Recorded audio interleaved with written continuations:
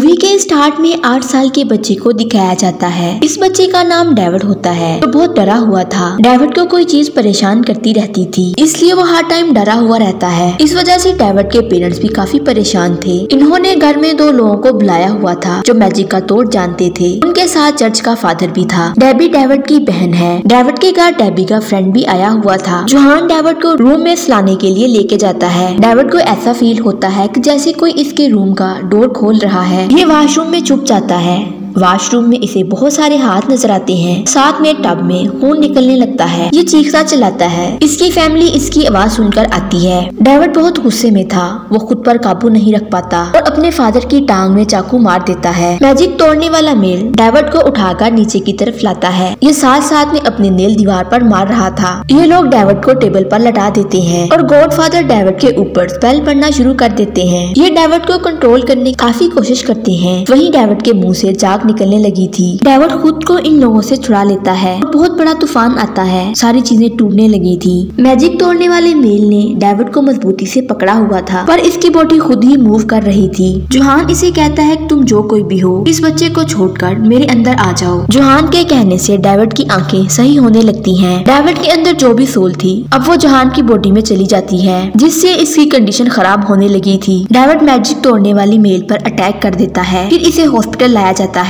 Doctor इसकी wife को बताते हैं, इसे अटैक हुआ था जोहान की कंडीशन भी नॉर्मल हो चुकी थी। वो डेबी के साथ काम कर रहा था जोहान जब घर आता है, इसे दीवार में एक होल दिखाई देता है, जब ये इस होल के अंदर देखता है। इसे गोश्त दिखाई दे रहा था। वो गोश्त इस पर हमला करता है, क्योंकि सच में, वो सोल डेविड को छोड़कर जोहान में आ चुकी थी। जोहान अपनी कार लेकर जाने वाला था। इसे रोक लिया जाता है। अब हॉस्पिटल में मैजिक तोड़ने वाले मेल को जब होश आता है और बताता है कि वो सोल डेविड को छोड़कर जोहान में आ चुकी है। वो अपनी वाइफ से कहता है कि इनको कॉल करके बताओ कि वो सोल बहुत खतरनाक है और सब इससे बच कर रहे। मगर डेबी कॉल रिसीव नहीं करती, क्योंकि वो फुल म्यूज़िक में डांस कर रही थी। इधर जहान की कंडीशन भी ठीक नहीं होती। ये खुद के कंट्रोल में नहीं रहता। मैजिक तोड़ने वाली फीमेल पुलिस को कॉल करती है और बताती है की आप डेविड के घर जाए। और इधर डेबी जिस बंदे के साथ डांस कर रही थी, वो गोश्त में चेंज हो जाता है, क्योंकि उस इंसान की शक्ल डरोनी बन चुकी थी। डेबी उसे देखकर चलाती है। ये जहान को अपने साथ लेकर भागती है, मगर जहान चाकू मारकर गोश्त को मार देता है। इसके कपड़ों पर खून लगा हुआ था। इतने में पुलिस वाला जुहान से कहता है कि तुम मेरे साथ चलो। अब ये कपल जो मैजिक तोड़ने आया था वो जुहान को कहता है कि तुम बाइबल पढ़ो, ये देखना चाहते हैं कि तुम्हारे अंदर कोई सोल है कि नहीं। वही जुहान की लॉयर भी पहुँच जाती है। मैजिक तोड़ने वाला मेल कहता है कि जुहान ने गोश्त को नहीं मारा, बल्कि इसके अंदर की सोल ने उसे मारा है। लेकिन लॉयर इसकी बात पर यकीन नहीं करती। ये लॉयर को कहता है कि रात को घर में आना, मैं आपको वो सोल दिखाऊँगा। सुबह लॉयर कोर्ट में आती है, क्योंकि इसे यकीन आ गया था कि ये सब सोल ने किया है। वो कोर्ट में बताती है कि कत्ल सोल ने किया है, मगर जज यकीन नहीं करता। इसे कैद की सजा हो गई थी। ये कपल कहता है कि हम जहान को बेकसूर साबित करके रहेंगे। अब ये कपल उस सीन की रिकॉर्डिंग सुनते हैं और उस जगह पर जाते हैं जहाँ डेविड पहली मरतबा डरा था, क्योंकि इसको यहाँ पर गोश्त दिखाई दिया था। इस रूम में वाटर बेड था। डेविड इस बेड पर जंप लगा रहा था अचानक से इस बेड में से किसी का हाथ निकलता है। उसने डेविड के हाथ को पकड़ लिया था। फिर ये कपल डेविड की मदर को बताता है, ये किसी गोश्त ने किया है। जब ये नीचे की तरफ़ जाते हैं तो वहाँ बहुत सारे चूहे थे और वहाँ पर अजीब तरह का स्कल बना हुआ था। ये स्कल की फ़ोटो सबको दिखाते हैं और सब कहते हैं कि ऐसा स्कल हमने पहले कभी नहीं देखा।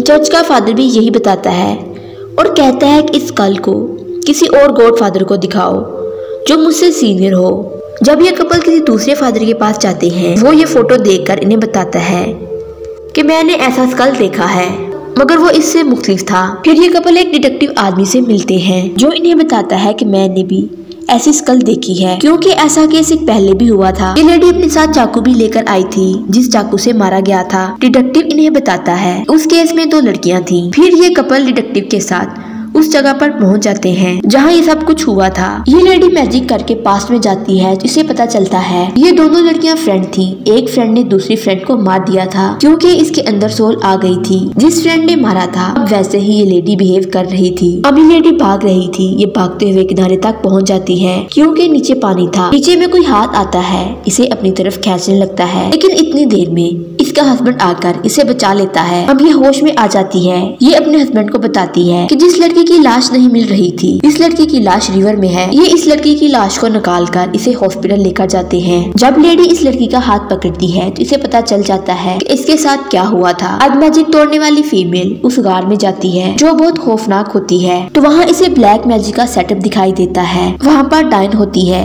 ये फीमेल उस डाइन का फेस देख लेती है और इससे पूछती है की तुम यहाँ पर क्या कर रही हो? तुम यहाँ पर क्या कर रही हो? अभी कोई गोश्त इस पर हमला करने के लिए आता है। तो इसका हस्बैंड इसको हाथ छोड़ने को कहता है, जो इसने लड़की का पकड़ा हुआ था। ये अपना मैजिक खत्म कर देती है। वहाँ से इनको एक बुक मिलती है, जहाँ पर मैजिक तोड़ने के मेथड थे, जो इसके जूनियर ने दी थी। इस बुक में लिखा था कि कैसे ब्लैक मैजिक करते हैं। जब ये बुक पढ़ता है तो इसको ख्याल आता है डाइन और गोश्त इस पर हमला करने के लिए आ रहे हैं। इसको विजन आता है कि डाइन और गोश्त इस पर हमला करने के लिए आ रहे हैं। ये मेल चाकू से इन पर हमला करने लगता है। इसका जूनियर इसका हाथ पकड़ लेता है, क्योंकि ये सब करने को इसे सोल कह रही थी। वो अपनी वाइफ को मार दे फीमेल गॉड फादर से मिलती है। वो इसको बच्चे की फ़ोटो दिखाता है और बताता है कि ये मेरी बेटी विच है। ये फादर इसे गार में लेकर आता है। उस गार में विच भी थी जो ब्लैक मैजिक कर रही थी। ये विच इस फादर की बेटी थी और विच अपने फादर को मारने आती है और इसकी गर्दन पर चाकू रख देती है। अब ये इस लेडी के लिए अच्छा मौका था, क्योंकि वो टेबल